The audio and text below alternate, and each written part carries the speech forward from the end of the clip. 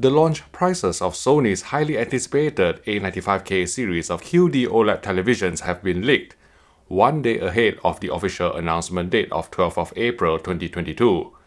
I was googling for the model number of the 55-inch Sony A95K and saw a search result showing a price of £2,700 from established UK retailer johnlewis.com. So I clicked through to the website, but couldn't find any sign of the price. It is likely that johnlewis.com has taken it down before prices are meant to be announced on the 12th of April, tomorrow. So I went back to Google and looked at a cache of the webpage, and bingo! It is confirmed that the 55-inch Sony A95K QD OLED television will be launched at a price of £2,700 in the United Kingdom. Encouraged, I tried to repeat the same trick with the 65-inch version by searching for the model number on Google. I had less luck this time. When I clicked through to the product page on johnlewis.com, the page wasn't even available. Going back to Google and clicking on Google's cache for that particular page did not bring any joy either, with no sign of the price anywhere.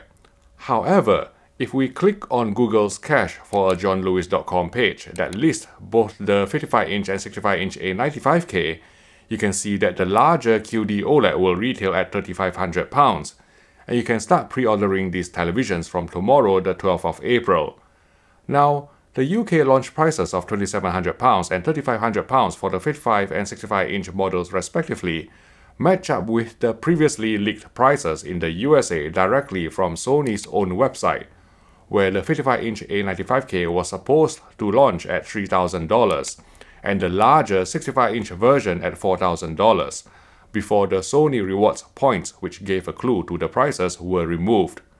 So it is definitely true indeed that the first generation of QD OLED televisions has turned out to be significantly less expensive than the initial estimation of 8,000 US dollars bandied about by Korean media late last year.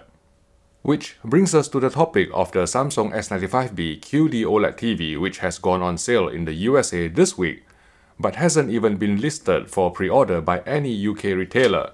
So I wonder if Samsung only has enough stock to sell in the North American market. If you are based in Europe, is the Samsung S95B QD OLED available for pre-order in your country? Let us know in the YouTube comment section below.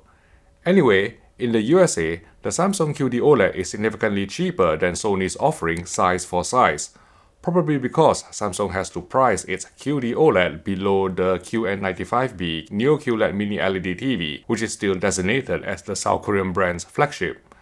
As a result, while the Sony A95K may have the upper hand in Dolby Vision support and the presence of an additional heat dissipation layer, most people will probably go for the Samsung S95B, and save up to $1,000 in the process. That said, some videophiles who value Sony's picture accuracy and processing may still be willing to pay a premium for the A95K Master Series OLED, especially considering that its launch prices are not more expensive than what the A90J launched at last year.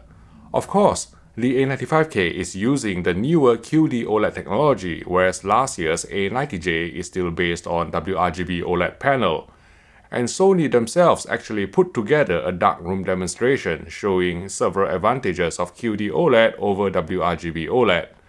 Now, Sony did not allow anyone, including myself, to take photos or videos during the darkroom demonstration due to copyright reasons. But I have attempted to reconstruct it myself to show you what I saw, so go watch my coverage video here.